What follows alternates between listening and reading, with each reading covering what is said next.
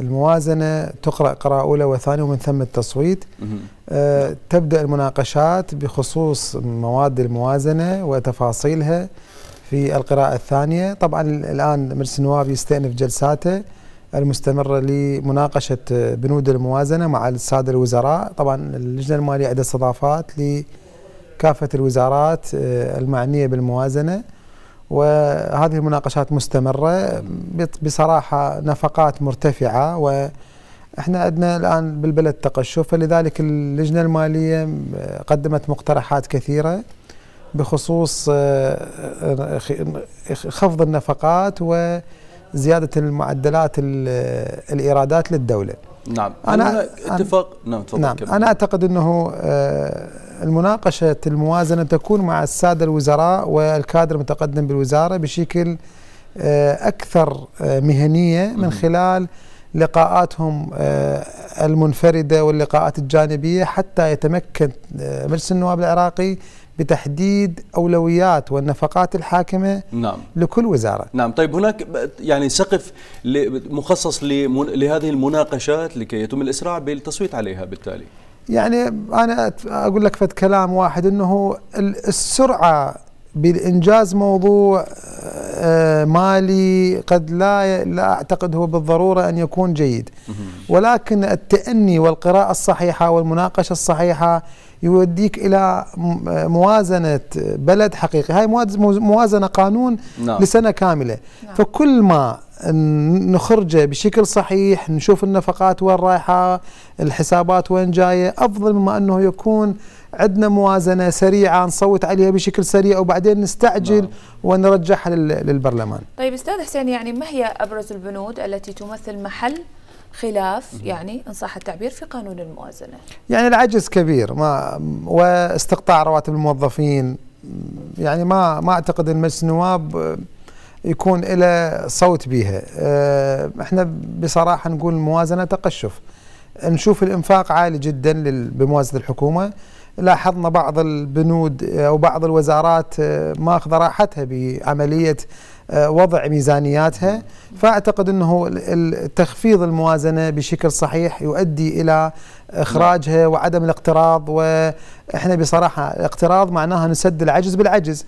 ولذلك إحنا بالنسبة إن نشوف وضع كل وزارة مثلا إحنا نقول على وزارة العمل مثلا مثال بسيط إنه وزير العمل أو وزارة العمل طالبة إن يكون هناك 600 ألف عائلة شمول إن شاء الله بالسنة هاي 2021 جزء منه جيد صحيح. إحنا مع هاي القصة لأن عوائل دون خط الفقر ممكن إنه يساعد هذه العوائل أن تتمكن بالعيش الكريم. وبعض الوزارات لا بالتأكيد آه، نفقاتها غير غير صحيحة. طيب هل هناك اتفاق على هذه التعديلات؟ هنا نتحدث على يعني خفض الإنفاق وخاصة الاستقطاع برواتب الموظفين. يعني كل أعضاء مجلس النواب آه، لا يؤيدون استقطاع رواتب الموظفين بشكل نهائي وقطعي. نعم. يعني رواتب الموظفين أنا أقولها من خلال المنبر العراقيه خط أحمر. لدينا رواتب الموظفين خط أحمر. لن نقبل باستقطاع أي مبلغ من رواتب الموظفين. طبعا يبقى التصويت لمجلس النواب العراقي لن أصادر رأيهم ولكنني من خلال زملائي وأصدقائي وإخوتي نعم. في مجلس النواب يعني يبلغون دائما إنه لن نستطيع أن نستقطع دينار واحد من رواتب الموظفين ولن يكون هذا. وبصراحة أنا أقولها إحنا اليوم سعر النفط 42 دولار سعر النفط بارتفاع لحد الآن موازنتنا توصل الموارد مالتنا 92 تريليون.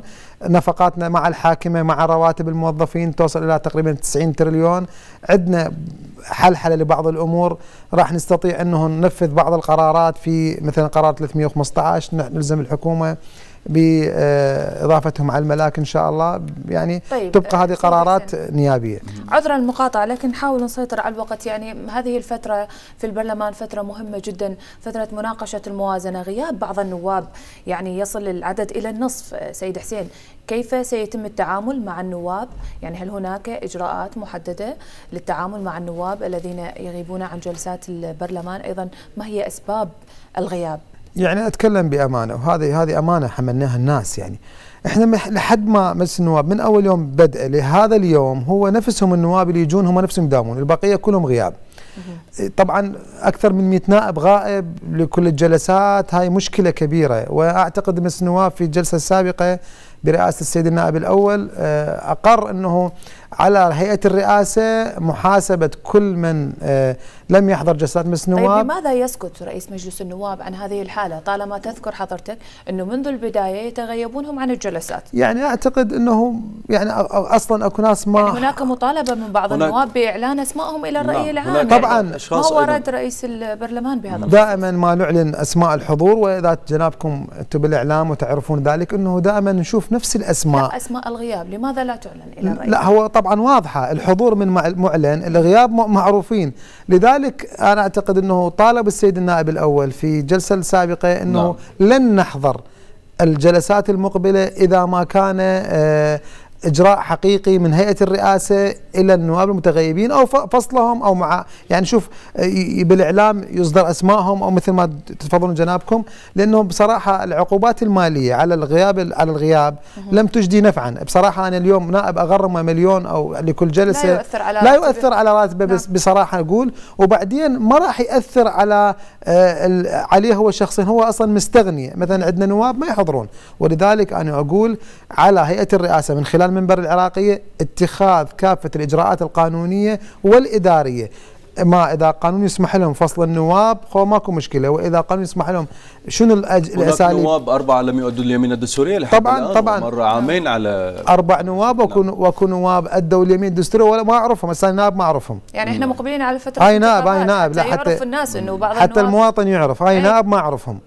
أكو نواب اني نائب بالمجلس النواب ولم اغب جلسة واحدة. ما أعرف النواب اللي هذول اللي هم مرشحين. طبعا نعم. العلم مو من مكان محدد من من كل المكانات وما أعتقد ليش سيتم اتخاذ يعني في الجلسات القادمة إجراء بخصوصهم؟ أعتقد ذلك. وأنا أقول نعم. هم إذا أنت متكابر يعني أنا ما أعرف. إذا أنت متكابر على مجلس النواب العراقي ليش ترشح بمجلس النواب وتفوز بالمقعد النيابي وتحرمنا من بالتصويت والإجراءات؟ يعني باكر عقبة عندنا محكمة اتحادية. نحتاج ثلثي. أعضاء مجلس النواب للتصويت ونحتاج أيضا إلى الثلثين في حل نفسنا للانتخابات المبكرة.